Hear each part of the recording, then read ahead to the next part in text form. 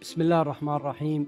سيدي سمو الشيخ حامد بن زايد آل نهيان سمو الشيوخ أصحاب المعالي والسعادة الضيوف الكرام السلام عليكم ورحمة الله وبركاته. اسمحوا لي بداية بالتعريف عن نفسي. أخوكم الدكتور مشعل القاسمي الرئيس التنفيذي لكل من مستشفى التأهيل التخصصي كابيتال هيلث ومركز هيلث شيلد الصحي. يشرفني اليوم أن أتولى مهمة إدارة هذا الحوار الذي يتمحور حول المسار المستقبلي للتكنولوجيا في مجال الطب والرعاية الصحية حيث ستقوم الدكتورة كاثرين مور رئيسة مؤسسة Intuitive Foundation بتقديم محاضرة بعنوان الاتجاهات التكنولوجية الجديدة في مجال الصحة. وستقوم من خلالها باستعراض رؤيتها وأفكارها بهذا المجال.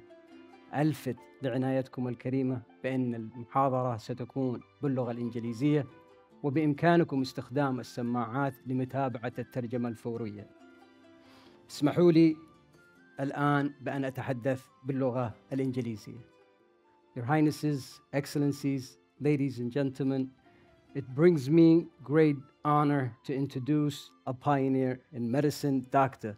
Catherine Moore, President of the Intuitive Foundation. Dr. Mohr has combined her deep knowledge and expertise in engineering, technology, and medicine to advance the healthcare landscape. Her lecture today, titled Charting New Paths in Healthcare Technologies, will offer us insights into the bright future in healthcare and the transformational impact of technology on the healthcare system. Next, I will invite you and, the audience for a few question and answers. Um, the first question for you, Dr. Catherine, um, any new idea or product at one point needs funding in order to make it to fruition. How can you, how can the investor community add value to healthcare technology? Well, there's so many different ways in which we can do investment. Um, you know, from venture capital to doing uh, government investment for larger populations to things like philanthropic investment that I'm doing. And I think they each have their own niche. And you know, we need to think about with venture, can I get a return on investment? With government programs, how am I best benefiting my the population? And in the areas of philanthropy, I'm using it to focus on can we build new thought infrastructure associated with it. There are so many rich problems out there um, that all of these areas of investment are needed and they can move it forward in synergy with one another. Another question I have I mean, looking at technology, it's moving at such a rapid speed that eventually there's a lag between uh, regulations, policies, and governance. Mhm. What can regulators do to ensure that the technology is not only effective, but is actually safe and secure, especially in medicine where privacy is a big, a big issue? Yeah, that's always an interesting thing to take on because as an innovator, classically you're expected to rail against um, regulators, you know, like, oh, they're keeping us back. But really, what regulators are doing is they're trying to uh, keep this impossible balance between promoting the public health, which means bringing out new things as rapidly as they can, and protecting the public health, which is slowing down bringing things out because maybe it might not be fully safe. And so I think the key thing that we can do as innovators and people who are trying to push the envelope is to keep those dialogues going with regulators, but also for both groups to think we're going to bring it out in a limited way. And instead of creating all the data before we come out, let's continue to gather data after it's come out and see if we see safety signals later. And I think in that way we can be both nimble and safe. But it requires real conversation between innovators and, uh, and regulators and recognizing that we really are all on the same side. As you know, the UAE leverages technology almost in all of its sectors, and uh, healthcare is one of them, and is in the forefront in that field. What advice will you give the healthcare sector to keep in mind moving forward in order to maintain and remain in the front line for the next 20 years? Mhm. Well, and it's like I said, just the pace of growth here is astonishing. And, and I can see that kind of continuing as it's going forward. And to, to continue to stay relevant, I think it's always thinking in terms of closing that gap.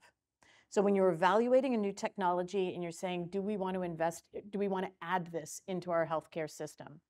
Is it, it's not, is it bright and shiny and it has some new bells and whistles, but will it increase access? Will it increase patient outcomes? Will it, improve, you know, it, if as long as you're using that litmus test and really saying, how do I understand the story of how that technology adoption will affect these things, you won't go astray.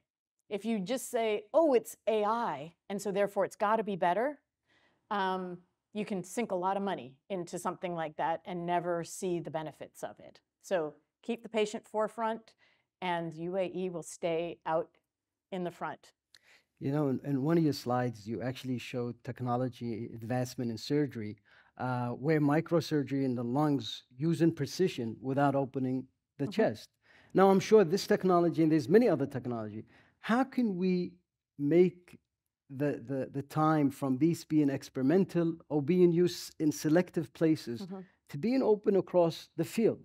Not only the technology, but also the skill set of the healthcare workers to be able to do that.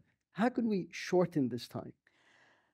I'm going to come back to education again because really in a lot of the of, of the adoption cycles of these things it's you can make the technology but training people to use it and getting teams to be really excellent at using it is often the gating um, step for being able to get wide adoption of a new technology. And we aren't structured as a healthcare or, or, or as, as a medical training world to teach people after they're already attendings. And so I'm excited about if we can build in all of the training for using a device into that device so that when you as a clinician have that device, it will teach you how to use it as you are going along and how to become excellent at it. This is where we start to be able to bring it out in parallel everywhere in the world. We stop being gated by that educational step. Thank you.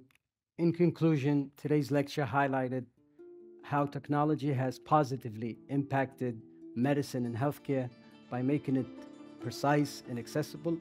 Also, how the, n- uh, the, integration of new technologies such as artificial intelligence and big data is expected to have to bring about significant changes in the decision-making process and also the error rates in medicine.